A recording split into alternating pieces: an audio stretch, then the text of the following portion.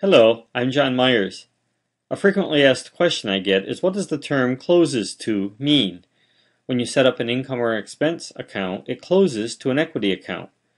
In this tutorial, I'll explain to you what the term means and how to use it in PowerChurch. So let's begin by taking a look in PowerChurch. I have a very simple setup and I'll show you the balance sheet and I'm going to print the account numbers So I can show you that we have $10,000 in checking and it shows up in the equity section as unrestricted net assets, account 3110. Next we'll create an income account in the chart of accounts and it will be a detail income account. We will create the income account under the group heading unrestricted and give it the account number 4100 general income and this income account will close to unrestricted net assets 3110. Now we'll make an entry in the newly created income account. The entry we will make is $680 of contribution income, which will go into the checking account and be recorded in 4110, the income account that we just created. After posting the transaction, the $680 now appears in our checking account and in the equity section under unrestricted net assets. If we take a look at the income and expense statement, we see $680 of income reported and no expenses. Now let's take a look at our two reports side by side with the account numbers printed out. The balance sheet is on the left and the income and expense statement is on the right.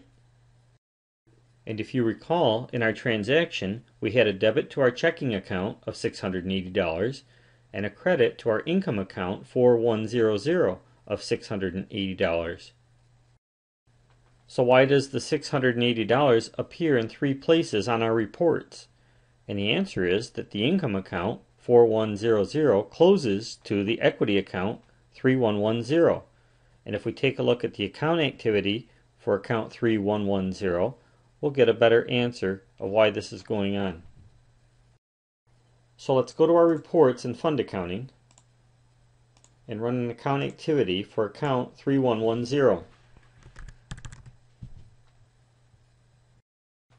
And we will see the word system generated in brackets in this account. This means that the $680 has not been posted to this account, but it's a marker saying that $680 will be posted to this account when the account closes at the end of the year. Next, we will create an expense transaction to an account that also closes to 3110. On the balance sheet, the $78 was subtracted from the checking account and from the equity account. And the income and expense statement shows the $680 contribution transaction and now the $78 expense transaction, both closed to 3110. This screen shows the account activity report for 3110 on top and the income and expense statement on the bottom. Notice the system generated line in the account activity report for $602. This is the net of the $680 income and the $78 expense, both that close to 3110. There will not be a separate line item system generated for each transaction. Rather, there will be one line item called system generated that will be the net of all the income and expense that close to that account. Now let's see what happens when we get to the end of the year. Notice our working month is currently January of 2012. I'm going to go through and begin closing months until I get all the way through to December. I've now closed all the months up to November. I'm now going to close November and enter December. And now our working month is December 2012 which is the last month of our current year. Now we'll run the balance sheet and income and expense statement reports side by side. And notice on the right, on the income and expense statement, we still have the amount $680, which represents the total income for 2012, and we still have the $78, which represents the total expenses for 2012, on the income and expense statement. And on the balance sheet on the left, we still have a marker, a single line item called system generated, that shows the net of all the income and all the expenses, which is $602, in account 3110. So what will happen to my income and expense statement on the right when I close December 2012 and enter January 2013?